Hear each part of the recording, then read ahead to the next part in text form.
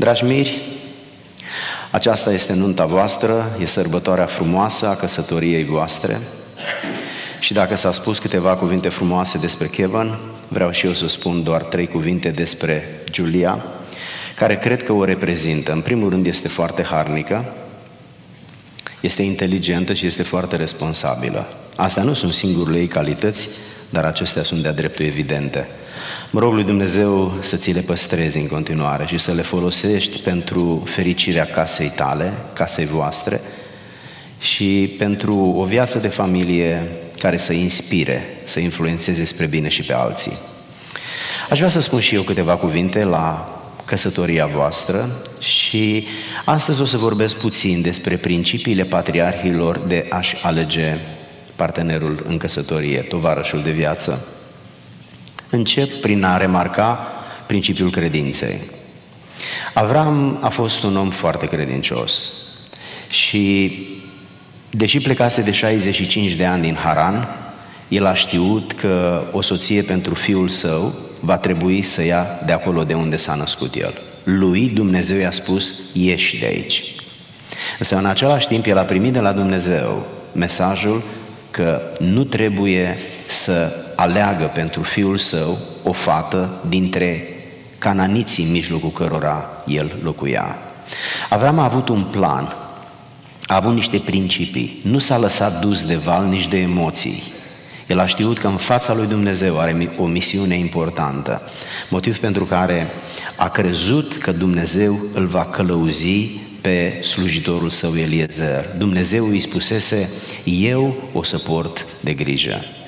Credința lui Avram nu a fost doar o credință în zona religioasă. Credința lui Avram a fost holistică, s-a întins în toate domeniile vieții, inclusiv în căsătoria fiului său. Apoi e principiul rugăciunii. Eliezer se face responsabil și ca un om în vârstă înțelege seriozitatea misiunii lui și ajungând acolo, el se roagă. Scriptura ne spune că s-a rugat și știți cum s-a rugat? Dumnezeul stăpânului meu. Avram l-a trimis, Dumnezeul lui Avram să mă călăuzească ca să fac o treabă bună. Observați că numai Dumnezeu cunoaște viitorul, de aceea Eliezer, ca un om înțelept, l-a rugat pe acest Dumnezeu să-i dea o lumină, să-l călăuzească. Principiul numărul 3 este principiul identificării. El trebuia să identifice o fată. Erau multe fete în zonă. Care era cea potrivită? Când alegi pentru tine, îți asumi riscurile. Când alegi pentru altul, e foarte complicat. Mă și mir că a acceptat. Eliezer pune un semn înaintea Domnului, un semn de identificare. El era într-o zonă nouă, nu mai fusese niciodată acolo, nu cunoștea tradiția locului, nu cunoștea familia, nu cunoștea fata. Tu ai cunoscut-o pe Giulia înainte să devină prietenă logodnică, ai cunoscut familia Țibu din comunitate, dar omul acesta a aterizat într-o zonă absolut nouă, nu cunoștea absolut pe nimeni. Era normal să pună un semn. Însă privește ce semn a pus. A pus un semn care punea în evidență caracterul fetei. Hărnicie, bun simț, generozitate și așa mai departe. Un băiat la aceste lucruri trebuie să se uite când își alege o fată și o fată la aceste lucruri trebuie să se uite când un băiat îi propune perspectiva căsătoriei. Că celelalte lucruri, casa, poți să o ai, poți să nu mai ai, poți să nu mai ai și poți să o ai, dar caracterul, acesta este omul, omul este caracterul lui, ceea ce este caracterul lui. Dacă are un caracter bun, e un om bun, dacă are un caracter rău, e un om rău. De aceea acest om în vârstă a pus un semn care identifica caracterul fetei și nu a greșit. Apoi este principiul compatibilității. Avram a ținut neapărat, pentru că așa i-a spus Dumnezeu și el a confirmat prin faptul că a trăit în mijlocul oamenilor din Canaan. A văzut că n-aveau Dumnezeu, n-aveau principii, n-aveau caracter. Totul era plăcere, întâmplare, răutate. De aceea el a vrut să fie o fată din zona de unde el a venit și i-a încredințat robului său acest principiu al compatibilității. I-a spus lui Eliezer să respecte dorința aceasta și să îi aducă o fată de acolo, de unde el a plecat. Asta înseamnă compatibilitate culturală. Căsătoria este cultură, în mare măsură. Noi, voi, veți fi o familie de cultură românească amestecată cu cultura americană. Nu veți avea o familie de cultură vietnameză sau chineză sau rusească, pentru că nu aveți nicio legătură cu aceste popoare. Fiecare dintre noi ne naștem în mijlocul unei culturi de care nu scăpăm niciodată. Vedem viața prin ochelarii culturii noastre. De aceea Avram a fost un om înțelept. Adu o fată care să se potrivească cu el, să aibă aceleași principii de viață. Urmează principiul încredințării personale. Când Avram spune, dați-mi fata să plec, părinții, oameni cu cap, îi spun, trebuie să o întrebăm. Nu noi ne căsătorim, ea se căsătorește. Noi suntem întrebați, noi, îi, noi confirmăm, dar ea trebuie să spună da, pentru că ea se căsătorește. Nu-i normal să pui pe umerii cuiva responsabilitatea unei căsătorii, în timp ce nu-i dai voie să se căsătorească cu cine vrea. Sigur, din punct de vedere al părinților, verbul cine vrea este discutabil. Discutabil în sensul că presupune o discuție.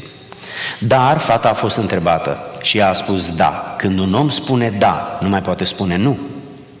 Când un om spune da, își asumă tot ce urmează în spatele acestui da. Sunt o grămadă de oameni care spun da și după aceea este nu, sau poate, sau să vedem.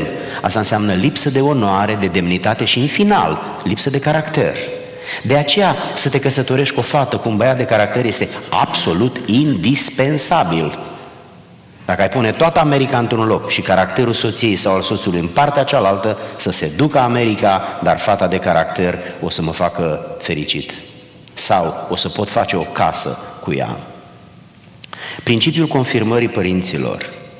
Părinții au avut posibilitatea să își spună punctul de vedere. În limba română se spune să-și dea consimțământul, adică să confirme, să valideze alegerea fetei.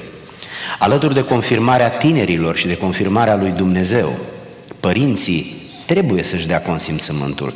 Pe fata aceasta a crescut-o cineva, a investit cineva 20 de ani în ea. Nu putem să trecem peste acești oameni, pentru că e fica lor, nu e a nimănui. Pe tine, în tine a investit familia alba, părinții tăi, ei te-au ajutat să fii ce ești astăzi. Asta nu e o întâmplare, nici nu ai câștigat tot ceea ce ești tu și tot ceea ce știi tu. Mai spun un principiu și închei, principiul mângâierii. Familia trebuie să fie un loc al mângâierii. În afara familiei suntem răniți, bârfiți, jigniți, atacați, înșelați, trădați și lista continuă. Dar când ajungem acasă, așa cum suntem, cu mai multă școală sau cu mai puțin, mai înalți sau mai mărunți. Și pot da o grămadă de exemple. Acolo trebuie să fim mângâiați. De aceea ne dorim să petrecem fiecare noapte din viața noastră acasă. Și nu numai nopțile. De aceea ne place să ajungem acasă, pentru că acolo suntem mângâiați. Suntem mângâiați prin respect. Suntem mângâiați prin înțelegere. Suntem mângâiați prin iertare, prin ajutor, prin compasiune, prin milă, prin bunătate și prin multe alte atitudini ale soției, soțului, părinților, copiilor și familia extinsă. Întotdeauna acasă este special. De aceea, căsătoria pentru Isaac a fost o mare mângâiere. Biblia spune că îi murise părinții și a fost mângâiat de moartea mamei prin apariția soției. O altă femeie a venit în viața lui. Femeia de origine, familia de origine, o lași în spate, nu există izolare, există separare și se naște o familie nouă, de sine stătătoare, cu principii puși, puse de ei, cu priorități așezate de ei. O familie nu trebuie să depindă de nimeni decât de Dumnezeu chiar dacă e tânără, chiar dacă este vârstnică. O familie trebuie să-și câștige existența, să-și organizeze existența și să-și trăiască existența. Familia de origine rămâne specială. Acum voi aveți două familii de origine, veți fi tentați fiecare să înclinați mai mult înspre cea din care vii tu, tu. Dar după principiul dreptății să fiți sensibili, că acum aveți doi tați și două mame, să le acordați respect, considerând excelența felului în care voi ați fost crescut. Să știți că au fost, în lumea asta sunt o grămadă de copii care nu au avut părinți, nu au avut protecție, nu au avut nimic, nici frigider, nici aragaz, nici multe alte lucruri. De aceea voi sunteți privilegiați, să nu uitați să-i respectați pe acești oameni. Chiar dacă n-ar merita, trebuie să-i respectați.